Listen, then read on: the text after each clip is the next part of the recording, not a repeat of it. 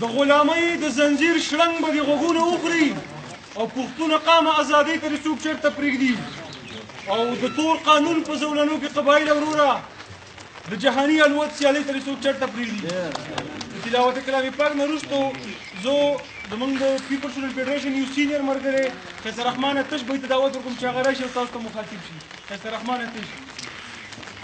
یې مخې ته راځي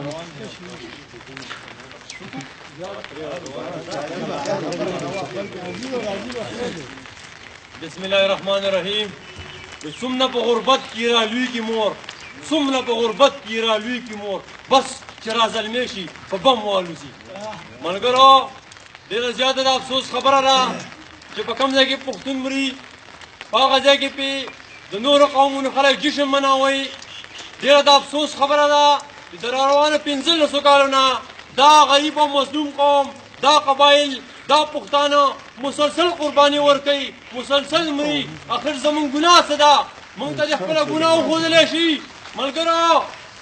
د دې ملک دپاره د دې ملک د حفاظت دپاره د دې خاورې دپاره زموږ مشرانو قرباني ورکړې ده دې مشرانو د دې ملک د ناموس او د عزت لپاره د پیرنګي سره جنګ کړی دی د دې ملک د ناموس او د عزت لپاره زمونږ د قبایلو سترې سترې شملې خاورې شوې دي د دې ملک لپاره زما د مشرانو د دې قبایلو ځوانانو وروسته شکست ورکړی دی اخر بیا څه وجه ده چې زه د دې ملک د یو درېیمې درجې هم تصور کېږم او په هر ځای کې زما سره د مېرنې مور غوندې سلوک کېږي ملګرو ډېره د افسوس خبره ده چې په دې ملک کې په دې خاوره باندې زما سکول ورانېږي زما مدرسه ورانېږي زما جومات ورانېږي زما بازار ورانېږي او د هغې نه پس چې بیا یو سړی چې هغه د دې ملک لپاره د دې را روان نسل لپاره یو روښانه سوچ لري هغه د خپل رزق نه د خپل بچو د رزق نه هغه یې زه راکټ کړي او د دې ملک او د خپل بچو د روشن مستقبل لپاره خپل بچي د ملک نورو ښارونو ته ولېږي هغه ښارونه چې د لاهور او د کراچۍ غوندې چې هغې ته د رڼاګانو ښارونه ویل کېږي دې لپاره چې زما دا بچې د دې ملک یو پرامن شهري جوړ شي یو باشعوره طبقه کې شمار شي تعلیم حاصل کړي او چې هلته لاړ شي نو د هغې بیا په ورپسې کې موږ ته لاشونه میلاوېږي اخر څه وجه ده چې د احمدشاه شهید پلار د هغه به دا سوچ و چې زه سپین ږیری شوم ما د دې قوم د تعلیم دپاره د دې بچو د دې قوم د بچو لپاره ما خپله ږیره سپینه کړه او دې نه پس به زما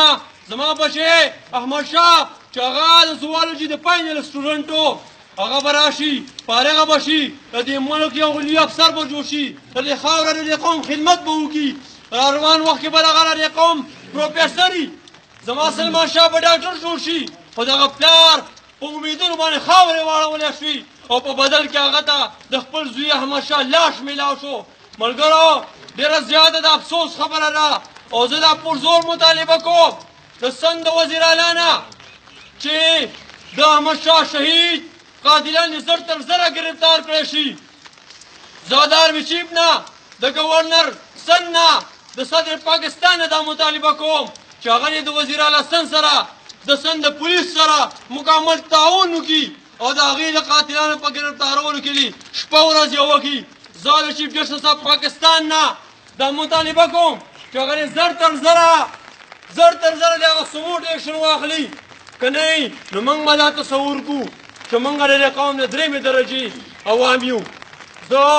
په یو شعر د نجات غواړم چې خدایه ور په غاړه کې ټوپک ورله د ټول عمر خدایه ور په غاړه کې ټوپک ورته د ټول عمر څوک چې قلم نه پرېږدي زما د پښتنو سره